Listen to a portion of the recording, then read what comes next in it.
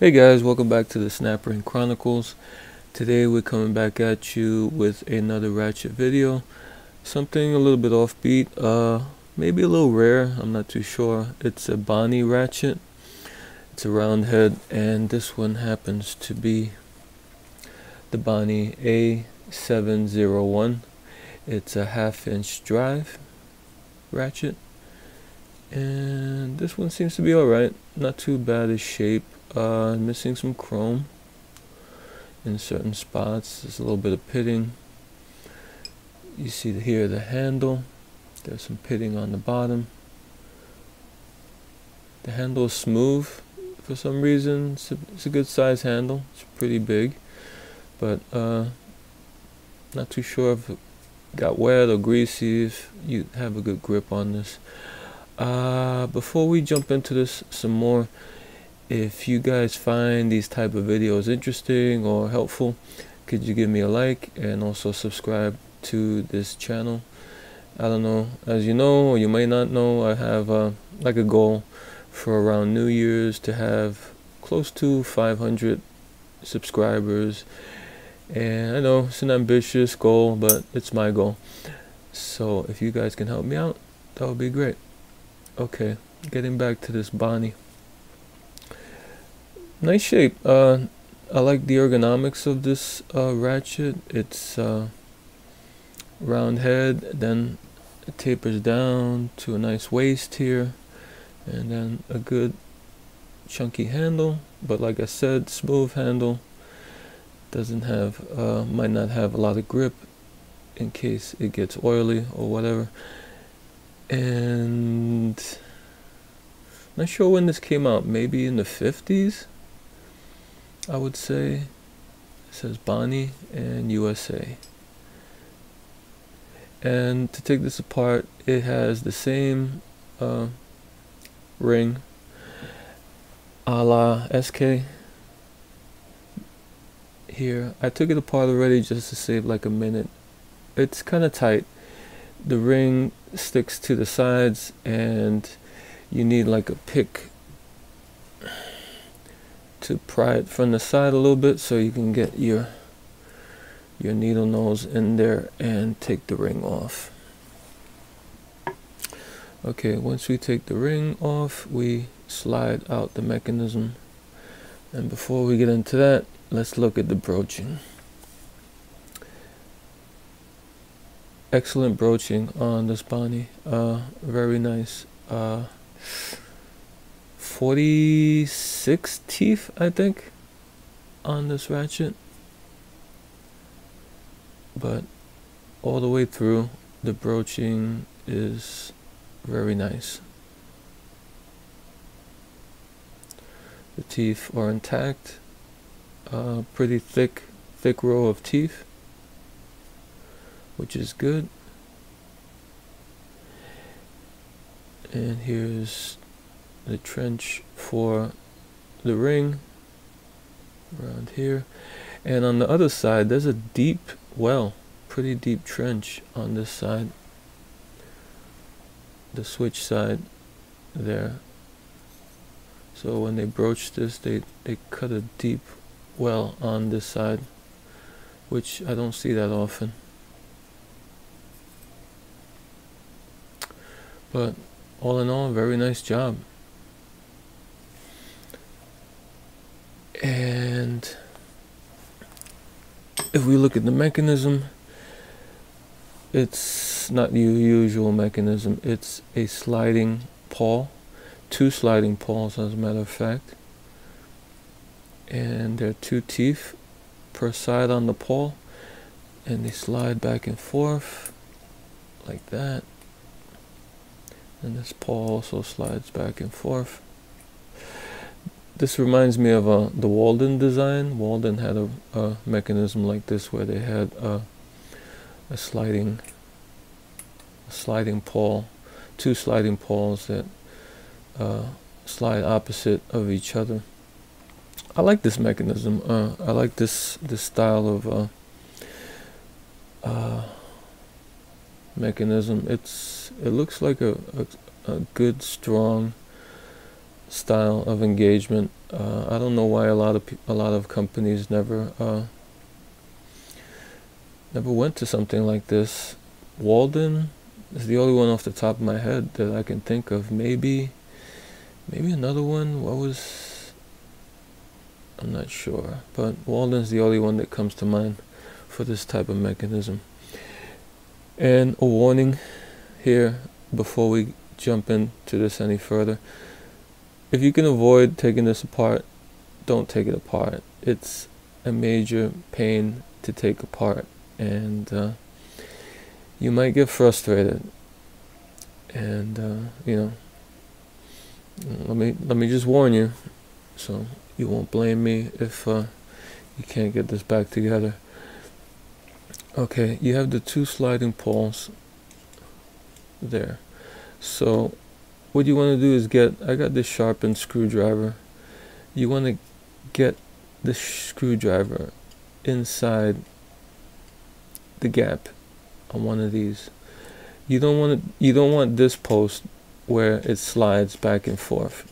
Not this post. You want the post that's where it slides on.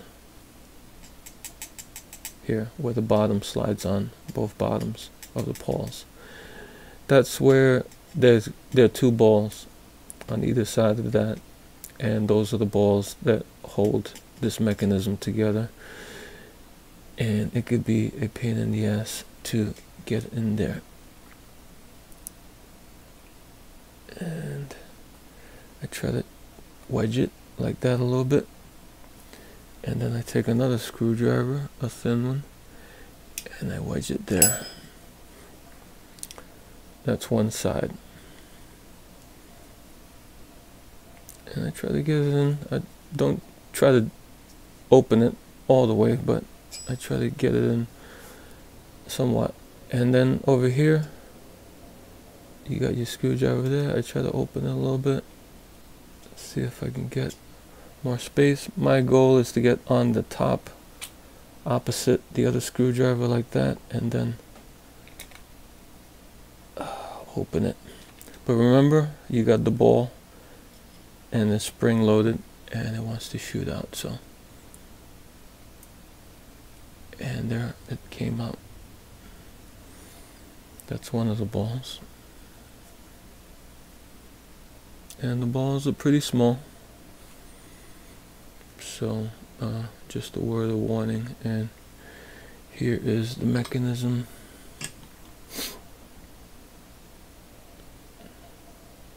inside.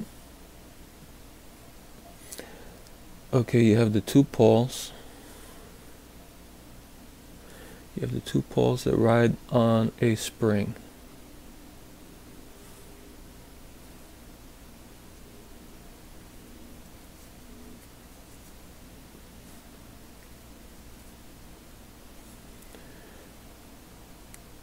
And here is the spring that goes between, it goes inside the hole of the pawls. And here are your pawls.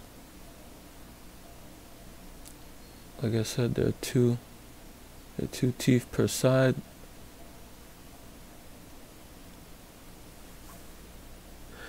But as you notice one tooth is longer and one is shorter here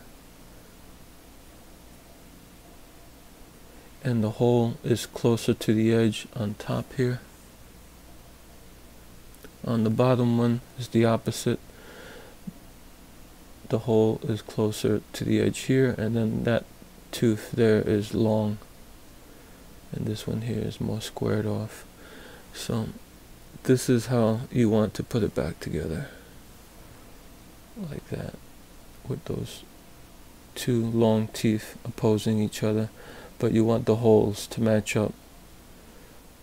See the holes on top there and the holes on top there like like so. Yeah I told you it's pretty complicated. And you want like I said you put the spring in between in the holes. And here's the ball. Here's one of the balls. It's pretty small. And that helps keep the mechanism together and thankfully this ball is captured at the bottoms because the hole isn't uh, open the whole way so.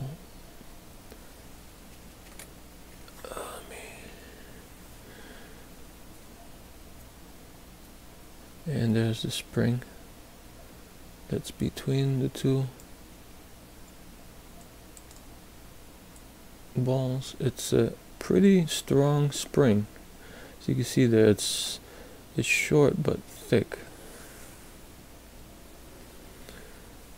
And then the ball the other ball comes out.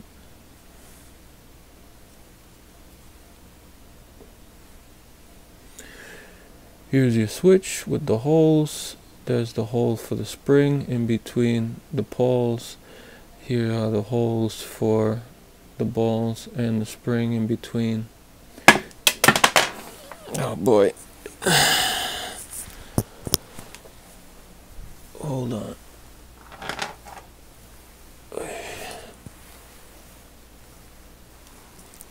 Okay. Here's the switch again. It's pretty heavy. It's a pretty heavy piece of metal. Not sure what it's made of but let me see if it's magnetic. Uh yeah it's magnetic so it must be steel or something. And here's the housing.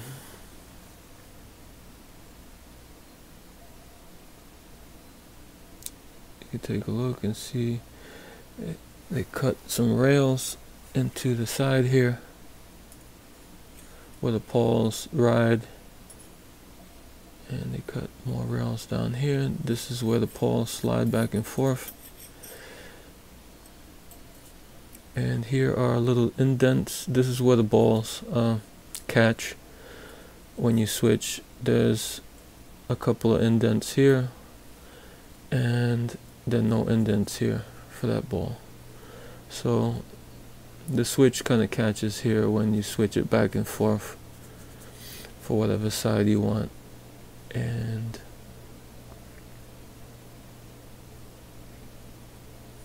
so that's uh, that's how that looks. Looks like a pretty decent job. They did pretty good on this ratchet.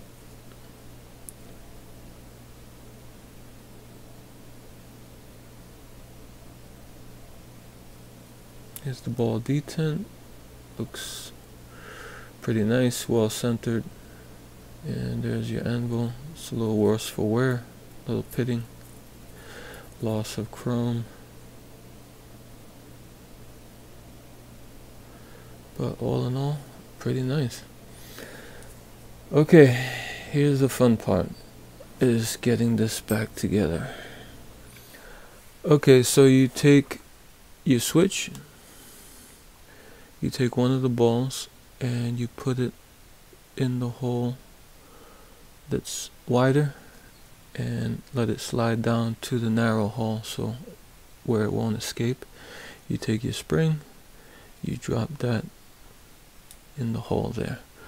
Alright now you take your pawls thankfully in this design you can only put this together in one way. Your pawl the hole underneath the pawl has to match the hole that's uh, in the switch. So you see there's a gap there on the bottom and there's a hole more towards the top. That one goes like that. And also the one the bottom one the hole it's going towards the top like that. It matches the hole in the switch that's going towards the top also. There's a there's a gap down there in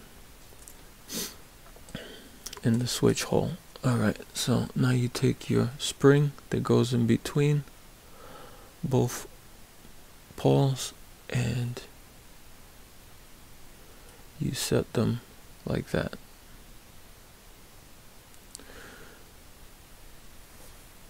Now you take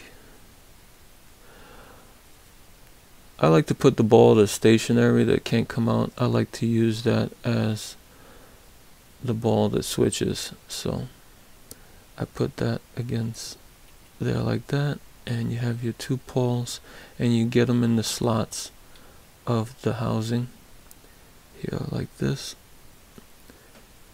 and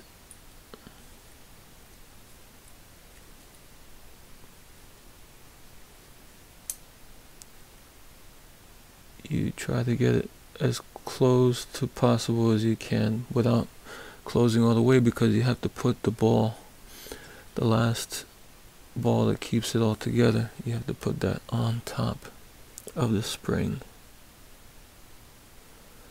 There and and this this could be difficult because now you have to mash oops you have to mash down.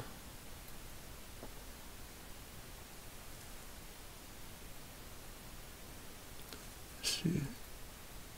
Get the ball on the hole there. Now you have to mash down the ball and press it at the same time. So you mash down that ball and then you press. And there you go and then you see if it's ratcheting. Yep it's ratcheting. Now you take your mechanism and you drop it. You might want to hold the pawls down a little bit. And you drop it inside the head. And you see if it's switching. Yep it's switching. And you take your ring. You get it in the groove. There. You get your pliers. Actually I might need a wider set of pliers.